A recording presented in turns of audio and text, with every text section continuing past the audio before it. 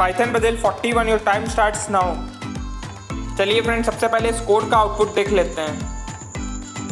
तो इस कोड का आउटपुट है येल्लो चलिए समझते हैं आउटपुट कैसे आया।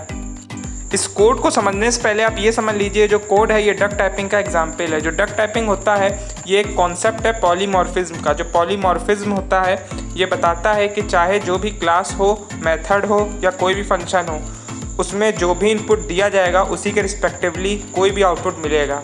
मतलब इसका एक स्पेसिफिक आउटपुट नहीं होता है, जो इनपुट दिया जाता है, उसी हिसाब से आउटपुट भी मिलता है।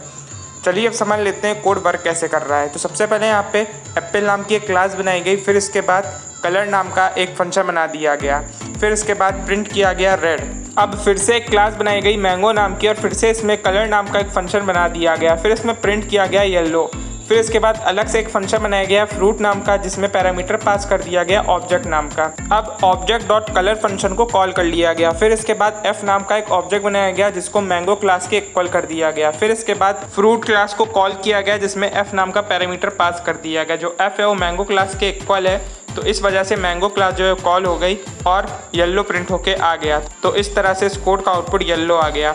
अब फ्रेंड्स आप यहाँ पे ये जो फ्रूट नाम का फ़ंक्शन देख रहे हैं, यही बताता है कि ये जो एग्ज़ाम्पल या डक टाइपिंग का है। तो यहाँ पे जो फ्रूट फ़ंक्शन है, कर क्या रहा है असल में कि हम लोग जो भी क्लास को कॉल कराते हैं, उस क्लास में जो भी फ्रूट होता है और उस फ्रूट का जो भी कलर होता है, वही प्रिंट होके आ जाता है।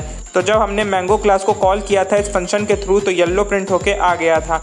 तो अगर हम लोग एप्पल क्लास को कॉल करते तो रेड प्रिंट होके आ जाता। तो इस तरह से जो डक टाइपिंग है वर्क करता है। अब फ्रेंड्स आपको क्या करना है, आपको चैनल में जाना हो प्लेलिस्ट पे क्लिक कर देना है। यहाँ पे आपको पाइथन सीरीज़ की पूरी प्लेलिस्ट मिल जाएगी। साथ ही फ्रेंड्स अगर आप पाइथन लैंग्वेज को बेसिक सीखना चाहते हैं तो आप अभी ब्लॉग पे विज़िट कर सकते हैं, जिसका लिंक आपको कमेंट सेक्शन और डिस्क्रिप्शन बॉक्स में मिल जाएगा। और फ्रेंड्स अगर आपको वीडियोज़ पसंद आ रही हैं तो वीडियोज़ को लाइक और शेयर करना बिल्कुल ना भूलिएगा। साथ ही फ्रेंड्स अगर आप चैनल बने हो चैनल सब्सक्राइब कर दें, साथ में बेल आइकन को भी प्रेस कर दें, जिससे आपको ऐसे ही वीडियोज़ की लेटेस्ट नोटिफिकेशन मिलती रहें। चलिए मिलते हैं नेक्स्ट वीडियो में। Thanks for watching